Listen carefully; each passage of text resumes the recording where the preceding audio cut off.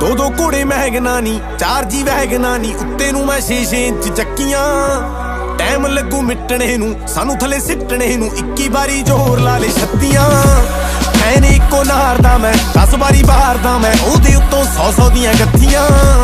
Time ਲੱਗੂ ਮਿੱਟਣੇ ਨੂੰ, ਸਾਨੂੰ ਥੱਲੇ ਸਿੱਟਣੇ ਨੂੰ 21 ਵਾਰੀ ਜ਼ੋਰ ਲਾ ਲੈ ਛੱਤੀ। ਬੜ ਕੱਢ ਤਾਰ ਕਾਨੇ, ਹੁਣ ਟੁੱਟੇ ਨਾ ਕਰੀਜ।